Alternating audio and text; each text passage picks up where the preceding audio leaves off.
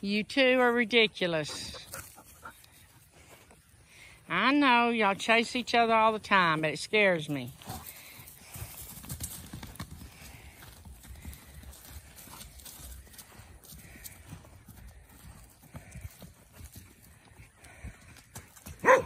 It still scares Zach quit.